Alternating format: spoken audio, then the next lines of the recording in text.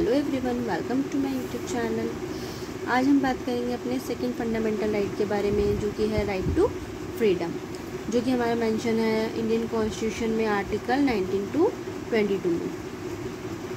Right to freedom हमारा स्वतंत्रता का अधिकार। Freedom is the basic characteristic of a true democracy अगर हमारे को किसी भी कंट्री में डेमोक्रेसी फॉलो करना है तो फ्रीडम के बिना डेमोक्रेसी फॉलो नहीं हो सकता।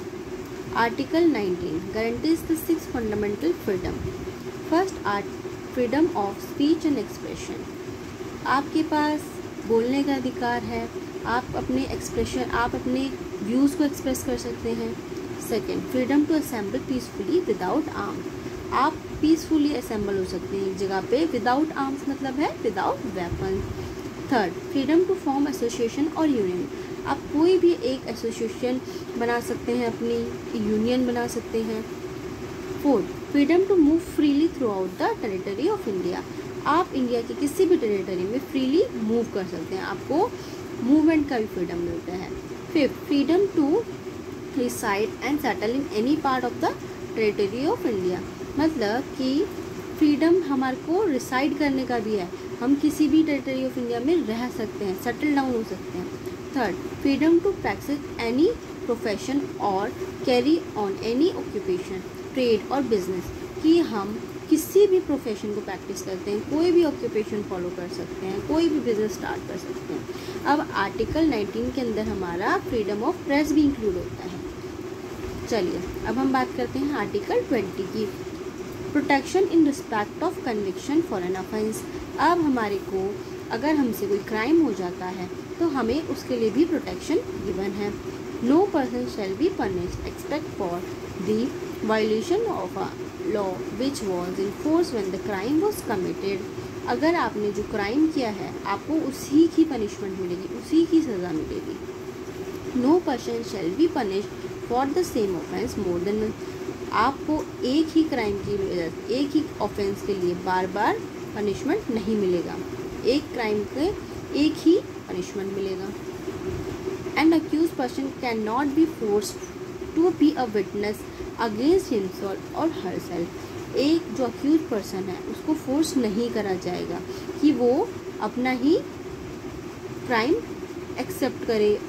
मतलब फोर्सफुली उसको फोर्स नहीं करा जाएगा कि आपने ये क्राइम किया, आप इस चीज़ को एक्सेप्ट करो। Article 29 protection of life and personal liberty अब इसमें आपको प्रोटेक्शन दी जाती है आपकी लाइफ के लिए पर्सनल लिबर्टी के ऊपर। इसमें हमारे बहुत सारे मेंशन करे गए हैं राइट टू लिवलीहुड है, आपका राइट टू शेल्टर्स है एक बार ये आप चेक कर लेना है। अब इसमें आर्टिकल 21 ए ऐड किया गया है, जो कि हमारा राइट टू एजुकेशन और ये ऐड हुआ है eighty six amendment of constitution sorry eighty six constitution amendment के द्वारा और 2002 में। इसमें आपका क्या बोलते हैं free and compulsory education given है तो कि छः से फोर्टीन ईयर्स के जो एज के ग्रुप के स्टूडेंट्स हैं, बच्चे हैं, उनको कंपलसरी एजुकेशन दी जाएगी और ये उनके गार्डियन की रिस्पॉन्सिबिलिटी बनती है कि वो अपने चाइल्ड को एजुकेशन प्रोवाइड करें। आर्टिकल 21 में राइट टू प्राइवेसी भी इंक्लूड करता है। Last article 22 protection against arrest and detention अब आपको आर्टिकल 22 में कुछ प्रोटेक्शन दी गई है किसके आपको अरेस्ट के और आपको डिटेंशन के आपको अरेस्ट कर लिया है और जेल में डाल दिया गया है तो उसके ऊपर भी आपको क्या बोलते हैं, कुछ प्रोटेक्शन गिवन है। No person arrested and detain in the custody without being inform of a ground for detention किसी भी पर्सन को आप अरेस्ट नहीं कर सकते हैं या जेल में नहीं डाल सकते हैं विदाउट उसको उसको इन्फॉर्म करे विदाउट कि उसको एक्चुअली उसका उसका ऑफेंस क्या है।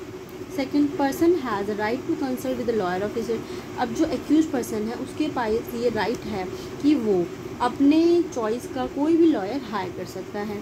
Third the accuse has to be produce before the magistrate within twenty four hour of arrest अगर आपने किसी पर्सन को अरेस्ट करा है तो आपको उसको ट्वेंटी फोर आवर्स के अंदर ही किसी भी नियरेस्ट मजिस्ट्रेट के सामने पेश करना पड़ेगा।